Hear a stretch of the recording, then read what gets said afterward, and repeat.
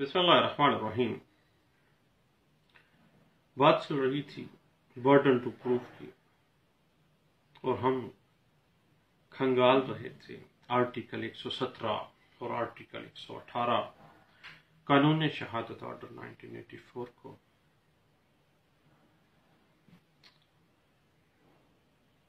Civil litigation میں مخصوص حالات میں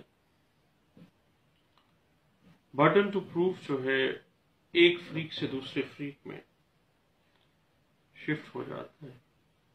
لیکن فوجداری کاروائیوں میں برڈن ٹو پروف استغاثہ پر ہوتا ہے یہ کبھی تبدیل نہیں ہوتا کہ وہ جرم ثابت کرتے ہوئے ملزم کو قصور پا ٹھہرائے۔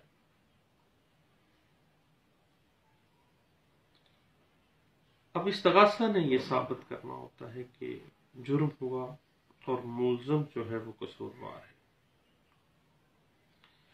فوجداری کاروائیوں میں استغاثہ پر برڈن ٹو پروف کی ذمہ داری اس حد تک ہے کہ ملزم کی طرف سے کوئی عذر یا شہادت صفائی میں کوئی کمی بھی استغاثہ کے سٹانس کو کمزور نہ کر سکے اور کوئی ڈاؤٹ نہ کریٹ ہو۔ حتیٰ کہ ایک single dent in the prosecution case benefit of doubt will goes to the accused person اس کے علاوہ استغاثہ کو یہ کبھی بھی حق نہیں ہے کہ وہ ملزم کی کمزوریوں سے فائدہ اٹھائے۔ ملزم نے اگر کوئی عذر لیا، ثابت نہیں کر سکا۔ تو ملزم کی کسی کمزوری کا فائدہ پروسیکیوشن کو نہیں ہوگا۔ انڈیپینڈنٹلی اپنی شہادتوں سے برڈن ٹو پروف استغاثہ پر ہے کہ اس نے جرم کو ثابت کرنا ہے اور اس جرم کے ساتھ اس ملزم کو قصوروار ٹھہرانا ہے اور اسے اپنا مقدمہ خود ثابت کرنا ہوتا ہے۔ اگر استغاثہ کی شہادت آپسیڈیوٹلی ناقابل بھروسہ ہے اور اسے کسی خاص وجہ سے اس ناقابل بھروسہ شہادت کو درست تسلیم نہیں کیا جا سکتا، تو ملزم کی خاموشی استغاثے کی شہادت کا نیم البدل نہیں ہے۔ تھوڑا ٹیکنیکل سا پوائنٹ ڈسکس کر رہے ہیں۔ اور میرے جیسے نالائق وکیل تو شاید اس نقطے کو چھوڑ جائیں، لیکن آپ چونکہ لرنر کونسل ہیں، یاد رکھیے گا کہ اگر استغاثہ کی شہادت ناقابل بھروسہ ہے اور اس کو کسی خاص وجہ سے تسلیم ایڈمٹ نہیں کیا جا سکتا انڈمیزیبل رہ جاتی انڈمیزیبل رہ جاتی ہے اور ملزم بھی خاموش رہتا ہے اس پوائنٹ پر۔ تو ملزم کی خاموشی استغاثے کی انڈیپینڈنٹ شہادت کا نیم البدل نہیں ہے۔ استغاثہ نے beyond the beyond any doubt even a single doubt کہ بیانڈ جا کے اس نے شہادتوں سے اپنے موقف کو استغاثہ نے ثابت کرنا ہے۔ یہ ایک سیٹل پرنسپل ہے جو all India reporter 1954 supreme court page 15 کے اندر ڈسکس کیا گیا تھا۔ مثلاً اے پر الزام ہے کہ وہ قتل اور ڈکیتی کی وارداتوں میں ملوث ہے۔ پولیس اس کو گرفتار کرتی ہے، چلان عدالت میں پیش کرتی ہے۔ اب برڈن ٹو پروف استغاثہ پر ہے کہ وہ ثابت کرے کہ اے ڈکیتی اور قتل کی سنگین وارداتوں میں ملوث ہے۔ اگر یہ خاموش رہتا ہے، تو اس کا یہ مطلب نہیں ہے کہ وہ مان گیا ہے۔ انڈیپینڈنٹلی استغاثہ نے ثابت کرنا ہے۔ اسی طرح اے کے خلاف اقدام قتل کا مقدمہ جو ہے بی دائر کرتا ہے۔ اب بھی جو ہے ایک مستقیس کے طور پر ثابت کرے گا اپنے موقف کو۔ فوجداری کاروائیوں میں قانون سختی کے ساتھ اس اصول پر کاربند رہنے کا تقاضا کرتا ہے کہ استغاثہ مقدمے کو کسی شک و شبہ سے بالا تر ہو کے ثابت کرے، ورنہ وہ ناکام رہے گا۔ ملزم کے اوپر کوئی برڈن نہیں ہے، کوئی ذمہ داری نہیں ہے کہ وہ یہ ثابت کرے کہ وہ بے گناہ ہے۔ اپنی بے گناہی ثابت نہیں کرنی ملزم نے، بلکہ استغاثہ نے ملزم کو قصوروار ثابت کرنا ہے۔ کیونکہ استغاثہ ثابت کرنے تک تو وہ ہے ہی بے گناہ۔ اور بلو آئی چائلڈ ہے، آپ کو پتہ ہے۔ اور قانون کا چہیتا بیٹا ہے ملزم اور اگر ملزم کوئی خاص موقف اپناتا ہے، تو دین برڈن ٹو پروو اس پر ثابت شفٹ ہو جائے گا کہ چونکہ اس نے کوئی اسپیشل پلی لے لی ہے، کوئی عذر لے لیا ہے، مثلا پلی آف ایل بائی لے لیا پلی آف سیلف ڈیفینس اس نے لے لیا ہے پھر اس نے اس پلی کو ثابت کرنا ہے۔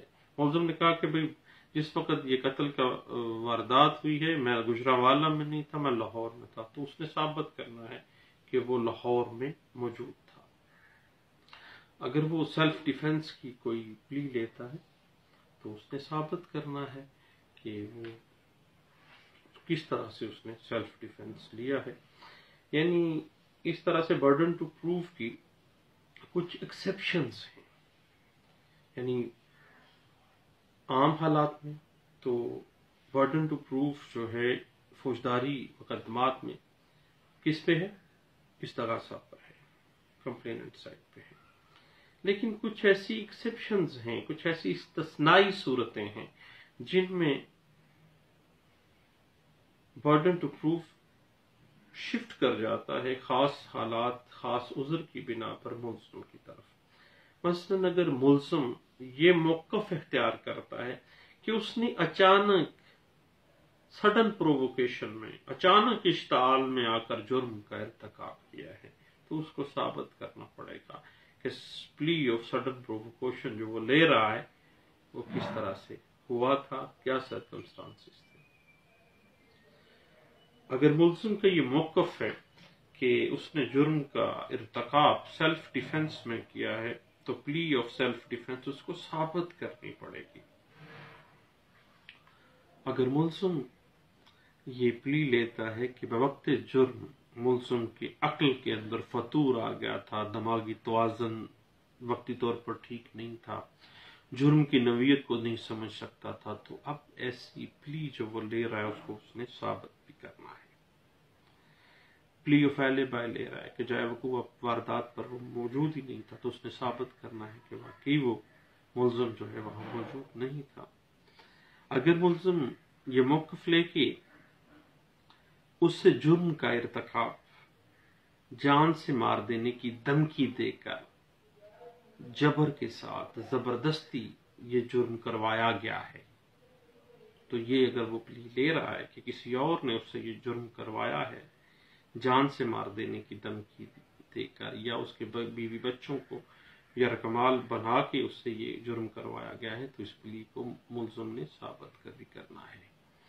ملزم کا یہ موقف کہ وہ کوئی فیل کرنے کا پابند تھا یا نیک نیتی سے، وہ یہ سمجھتا تھا کہ وہ یہ خاص فیل سر انجام دینے کا پابند ہے، لیکن اس کو پتہ نہیں تھا، غیر دانستہ طور پر۔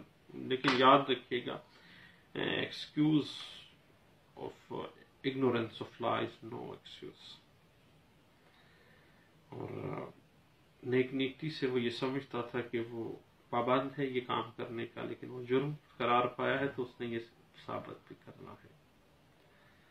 اگر ایک جج عدالتی فرائض سر انجام دے رہا تھا اس دورانی میں، اگر کوئی معاملہ ہو گیا ہے تو اس نے ثابت کرنا ہے کہ میں نے غلط جرم نہیں کیا ہے، بلکہ اپنے نیک نیتی کے ساتھ اپنے کام کرتے ہوئے۔ یا کوئی شخص عدالت کی طرف سے، عدالتی حکم کے تحت اس نے کوئی فیل سر انجام دیا ہے، تو اس پہ الرج کر دیا گیا۔ اور اس نے یہ موقف اختیار کیا کہ مجھے تو بطور اہل کمیشن بھیجا گیا یا بطور بیلف میں موقع پر گیا ہوں اور میں ان کے گھر میں جو داخل ہوا ہوں عدالتی حکم سے، تو پھر اس کو عدالتی حکم کے تحت کسی فیل کو سر انجام دے رہا تھا۔ تو اس نے اس کو ثابت کرنا برڈن ٹو پروف اس پہ ہے۔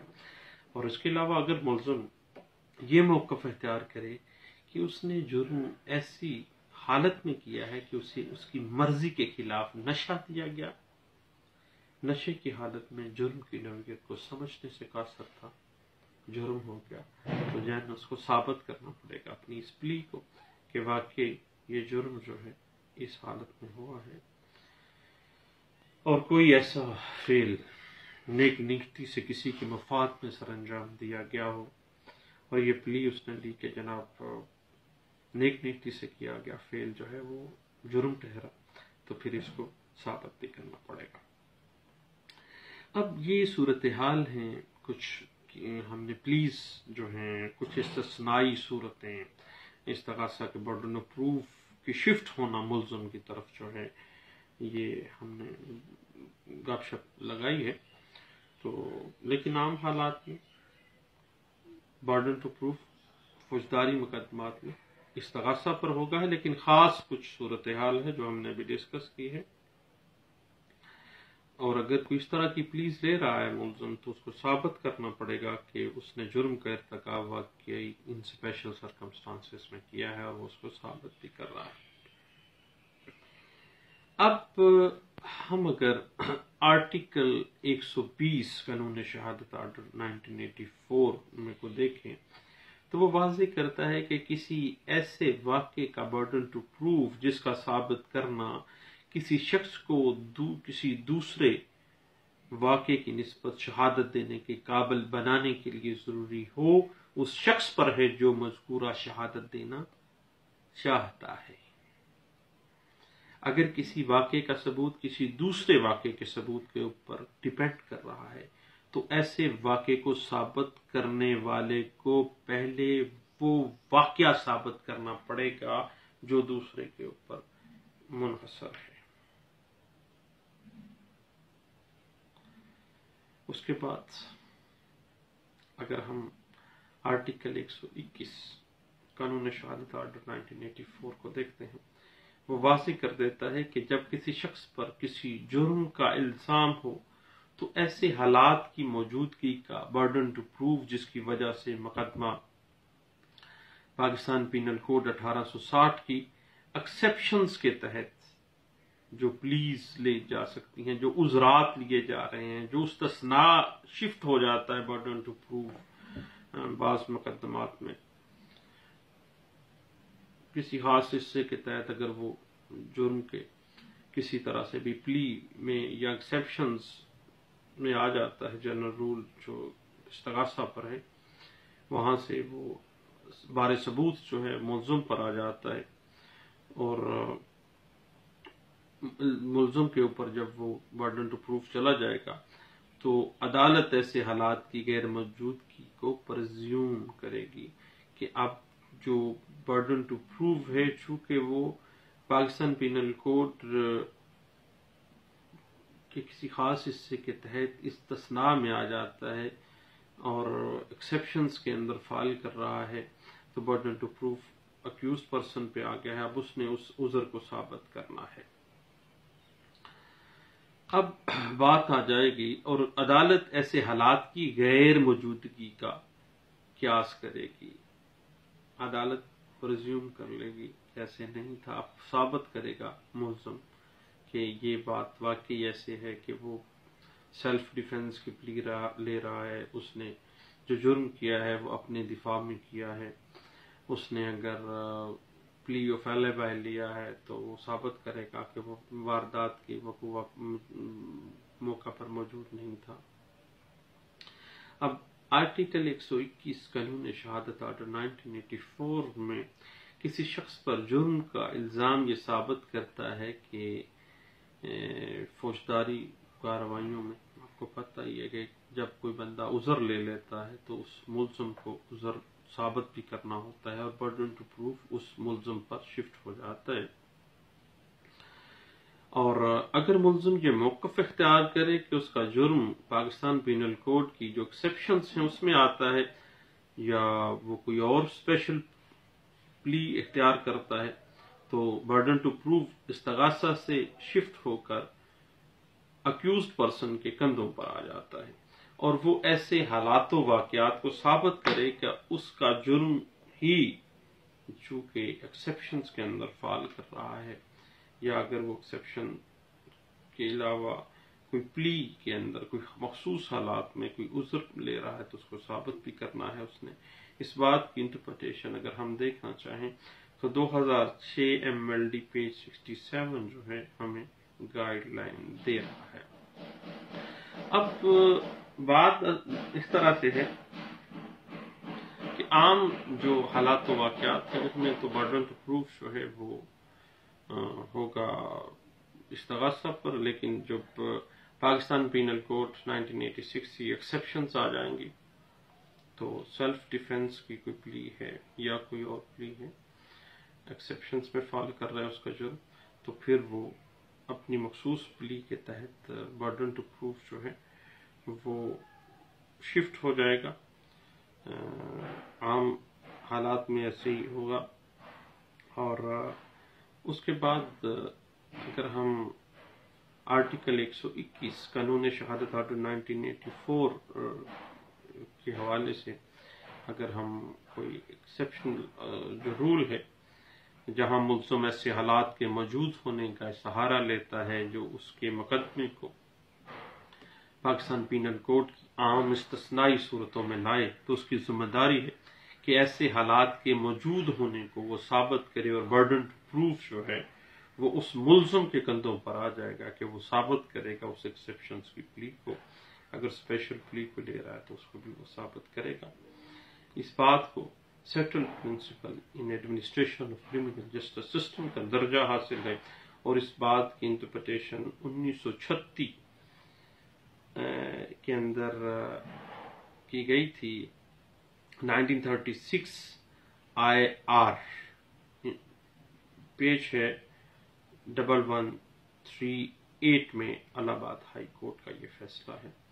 اور اس کے بعد یہ آج تک جو ہے، یہ بنیادی طور پر جو سیکشن ایک سو پانچ تھی لا آف ایویڈینس اٹھارہ سو بہتر، اس کی انٹرپریٹیشن انیس سو چھتیس میں الہ آباد ہائی کورٹ میں جب کی گئی تھی، تو اس کے اوپر یعنی اس زمانے میں جب لا آف ایویڈینس اٹھارہ سو بہتر تھا، تو سیکشن ایک سو پانچ تھی اور آج کے دور میں چونکہ ہم قانون شہادت آرڈر نائنٹین ایٹی فور کو مانتے ہیں، تو سیم ڈٹو کاپی ہے آرٹیکل ایک سو اکیس۔ تو اس حوالے سے دواؤں میں یاد رکھیے گا برڈن ٹو پروف کے حوالے سے ہماری گپ شپ گاہے بگاہے جاری رہے گی۔ تھینک یو اللہ حافظ۔